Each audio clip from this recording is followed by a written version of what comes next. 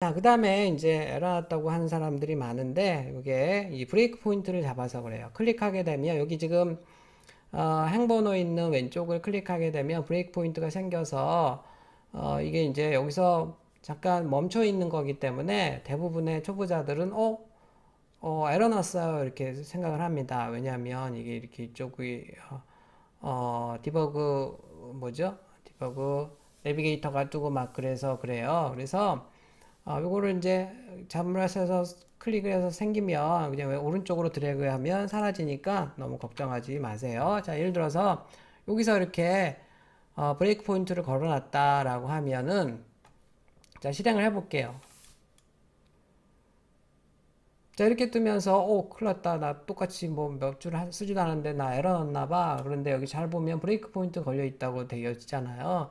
그리고, 그러니까 얘를 이렇게, 어, 밖으로 내보내버리면 됩니다. 이렇게 여러 개의 break point가 걸려 있으면 그냥 밖으로 내보내면 돼요. 이렇게 없애버리면 되겠고.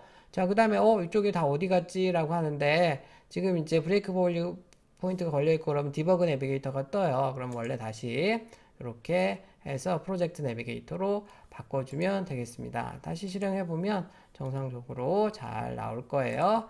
자, 이렇게 breakpoint 거는 거. 자, 그 다음에 이게 굉장히 중요한 거 중에 하나가, 어, 나 똑같이 했는데, 똑같이 했는데, 에러 나요. 이런 사람들이 꼭 있습니다. 초보 때 정말 저도 그랬고요. 굉장히 중요한 내용이에요.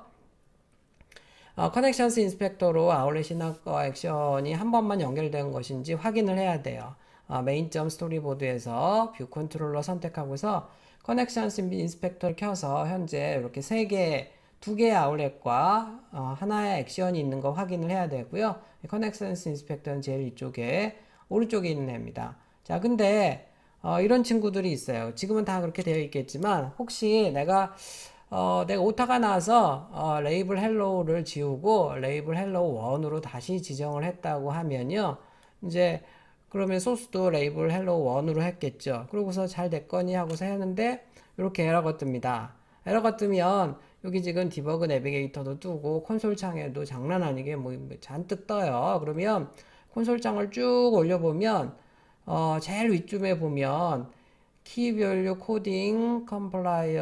for the 어, this class is value coding compliant for the key label Hello 이런 힌트가 뜹니다. 아, label Hello가 뭐 잘못된 거구나 라고 이제 이거를 어, 알면 되겠고요. 그래서 여러분들이 소스에서 지운다 그래서 지워지는 게 아니고요. 소스에선 지워지지만 이 Interface Build에서 만든 연결 관계는 여전히 남아 있어요. 그래서 지금 여러분들이 label Hello 1으로 해서 등록도 하고 label Hello로 해서 등록도 했다 그러면 요 하나의 레이블에 대해서 지금 하나만 있어야 되는데 두 개가 있는 꼴이죠. 그러니까 원래 했던 거를 이렇게 삭제를 X를 눌러서 연결을 끊어줘야 됩니다. 굉장히 중요한 내용이에요. 자, 한번 실습을 해보도록 하겠습니다.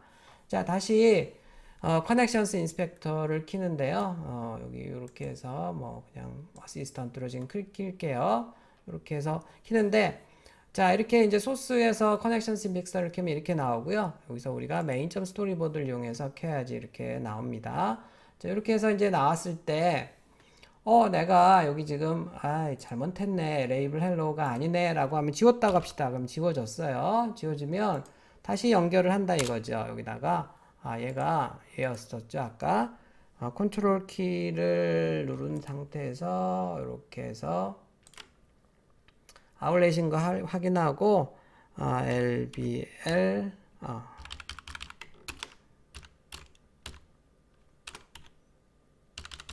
아, LBL Hello 1이라고 이렇게 했다고 합시다. 자, 그러면 이제 얘는 지금 주석 처리했으니까 없는 거고요. label Hello 1이라고 지금 되어 있으니까 여기도 당연히 1으로 이렇게 바꿔줘야 되겠죠. 자, 그렇게 해서 이제 어, 실행을 합니다. 어, 잘 됐겠지. 내가 실수한 거 다시 바꿔서 했으니까 잘 됐겠지 라고 하는데 어마어마한 에러가 이렇게 떠요. 여기도 지금 어, 디버그 내비게이터가 뜨고요. 여기도 이렇게 이상한 게 뜨고 그러면 이제 이쪽이 지금 평소에 없던 어, 콘솔 창이 되겠거든요. 콘솔 창. 콘솔 창에서 얘를 누르면 이렇게 할 수가 있습니다. 에러가 많을 때는 예를 들어서 전체적으로 보는 게 좋아요. 그래서 쭉 올려봅니다. 여기 보면 여기 어, 이런 게 뜰 거예요. 뭐 throw call stack이라고 해서 어, this class is not key value coding compliance 하나에 하나 키랑 value가 하나씩 있어야 되는데 이 label Hello가 중복이 되어 있다는 거예요. 아 그렇구나 라고 확인을 한 다음에 한 다음에요.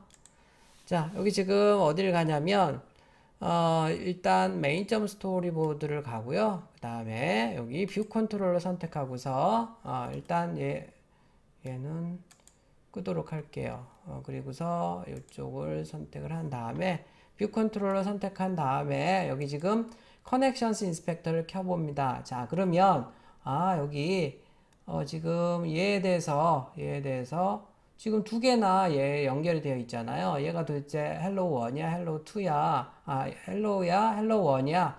이렇게 두 개가 연결이 되어 있기 때문에 안 되죠. 아까 내가 지웠다고 소스에서 지웠지만, 어, 이 아울렛의 어, 인터페이스 빌더에서는 여전히 연결 관계를 가지고 있네요. 그래서 이것 때문에 에러가 난 겁니다. 그래서 여기 지금 보통 노란 느낌표가 나온 애가 잘못된 애예요. 그러니까 얘를 지금 없애주면 되겠죠. X 버튼 눌러서 없애주고서 다시 컴파일을 하면 정상적으로 동작하는 것을 확인할 수가 있죠. 굉장히 많이 틀리는 거니까 저번 학기에도 뭐 너무 많이 틀렸었어요. 그러니까 소스가 혹시 잘못됐다고 해서 지우는 건 관계없지만 마지막에 Connections Inspector 여기 제일 마지막에 있는 애입니다. Connections Inspector를 켜서 얘가 연결이 두 개가 되어 있는 게 아닌가 확인을 해서 끊어줘야 된다는 겁니다. 끊어주면 되겠습니다. 자 여기 attribute 속성은요 뭐 여러 가지가 있는데 저번 학기에 다 얘기를 했었으니까 이것만 얘기할게요 어, 인터페이스 빌드 IB는 인터페이스 빌드의 약자입니다 IB 액션이라는 것은 메소드 프로퍼티는 IB 아울렛 그래서 변수와 함수라고 해서요 변수는 값이 변하는 애 뭔가 가져오거나 아니면 가져갈 애들을 쓰는 거고요 그 다음에 액션은 뭔가 동작하고 싶은 애들은 액션으로 잡아줍니다. IB Action으로. 자, 그래서 앱의 기능을 대략적으로 확인하려면요. 항상 여러분들이 Main점 storyboard 열어놓고 그 다음에 디자인된 거를 잠깐 보고 소스를 보고 그 다음에 Connections Inspector를 켜서 어떤 연결 관계를 가지고 있는지 이렇게 확인을 해줘야 됩니다. 자, 물론 여기서 여러분들이요. 어, 여기서 지금